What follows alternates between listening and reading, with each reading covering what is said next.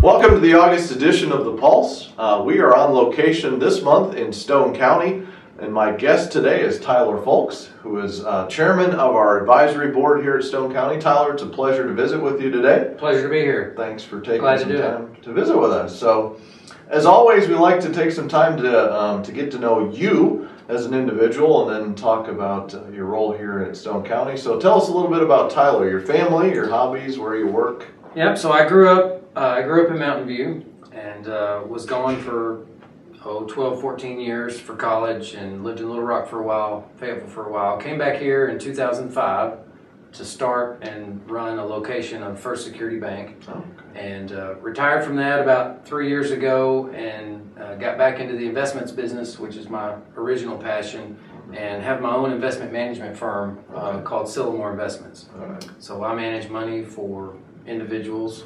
Um, I've got two kids, uh, both go to Mountain View schools. Uh, one's going to be a junior, one will be a seventh grader, two boys. And then my wife Jennifer, she's also from here, and she's a pharmacist. Uh, she co owns uh, Best Drug, which has a new location just about a quarter of a mile here from the, from the hospital. Beautiful campus. Fully invested in uh, Mountain View. Uh, each of us own a small business, so Excellent. um, it's a great place to live. Excellent. Yeah, that, that local tie is a huge, I think that's one of our biggest assets as an organization is that, that local, local tie and, and passion for the communities that we live in and serve. And so, um, so uh, you've been here, you live here, your wife, your families are invested. So ta- let's talk a little bit about, um, you know, Stone County is a, such a critical piece of our health system infrastructure. Uh, proud to have it part of, of us, but tell us from your perspective as a community member and, and chairman of the board, your perspective of the, the assets that it brings to this community. Well, you know, Mountain View is a quintessential small town, and um, you know, most small towns are not doing very well. You know, it's hard to survive as a small town. Mountain View is doing relatively well. When I first came back here, I really felt like there were three key things to keep Mountain View thriving, and that was tourism, which is very important to Mountain View. Sure. Education, we've got a great school system, we need to keep that, and then healthcare.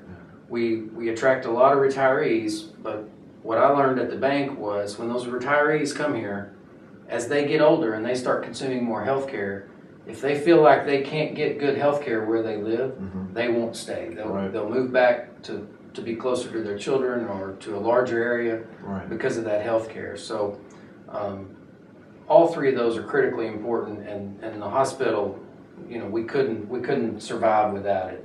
Um, and the hospital's been here a long time.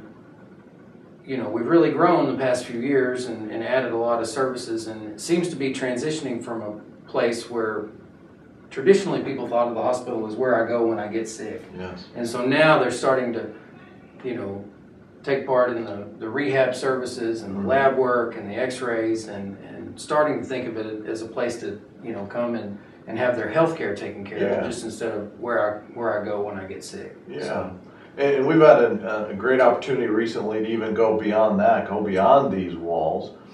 You know, obviously, we talk a lot about, we always will have to have that portion where we're here for when bad things happen that you can't plan for.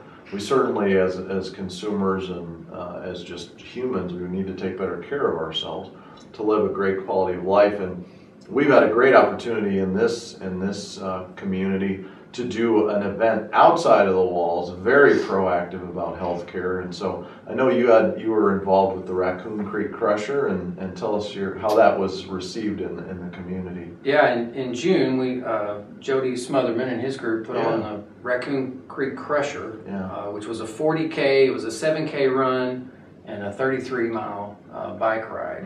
and it was a great event. There was a good turnout, and you know it was promoting uh, wellness and bringing in tourists. Yeah. And then they donated all the proceeds to the public schools. So kind of hit on all three of those things Yeah. I was talking about earlier. But it was a great event, and uh, if they have it again, I think it can be bigger and better. Yeah. And um, Yeah. and it was it was it was great. Wonderful. Yeah, it was exciting to be able to, to do that and, and get to know our community a little better and say, don't, we're not just in our four walls, we're part of you. We care about you. We want to be here to serve. So um, appreciate uh, you being part of that. And thanks for visiting with us today. Hey, really pleasure you to be here and My in your pleasure. backyard and, and visit with you. We Appreciate you taking the time. Thank you. Thanks. Enjoyed it. You bet.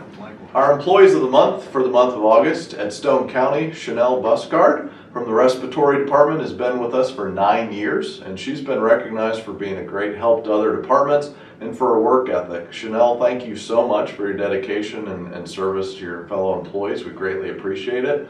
Um, pleased to have you on our team.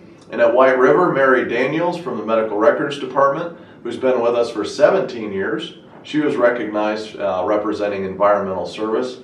Mary, thank you so much uh, for, for taking ownership and being part of our family and our team. We appreciate you. Congratulations to both of you on being recognized for your service.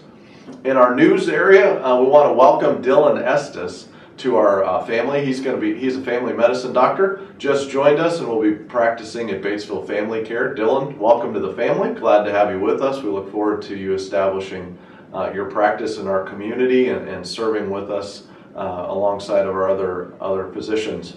Um, on September 17th, our annual prostate screening will take place at White River Medical Center. We do need volunteers for this. Uh, if you're willing to, to help out, uh, give Bailey Williams a call in marketing and see how you could be of assistance. A great way for us to be proactive in helping our community um, do preventative screening and make sure that they don't have issues that become uh, bigger problems down the road. October 22nd, uh, it's time again for Women's uh, the Health Expo, the Health First Expo, and um, great opportunity. Last year we had over 900 women attend this event. It's a great opportunity for us to do education, uh, for to do some screenings, and to help our, the women in our community understand uh, ways to take better care of themselves and ways we can help them uh, live a healthier life. If you're interested in a booth for that event, uh, feel free to uh, give Bailey Williams a call um, and see how you can be, uh, you can reach out and be part of that fantastic event within our community. Lastly, we want to make sure that you're aware of uh, the employee appreciation event that's coming up August 16th and 17th. If you remember last year, we reached out and, and pulled all of you to see if you were interested in us doing an event again, and you said yes, you were. We've chosen two, two evenings, uh, uh, August 16th and 17th, the Friday and Saturday evening from 6 to 9. We want to make sure with, uh, with our organizations never closing that everyone has an opportunity to come and participate, celebrate for yourselves and your families. Our families um, sacrifice so much the time that we spend serving um, in our industry, we want to make sure we get to thank them for uh, for their sacrifice of their, your time away from them. So make sure you come out. It'll be at the Batesville Aquatic Center from six to nine. We'll have games. We'll have swimming available. We'll have food available. Door prizes. It looks like it'll be a great event. We're excited to bring it back to you, um, we hope to see you there. Uh, have a great rest of your August. We will see you in September and look forward to talking to you again.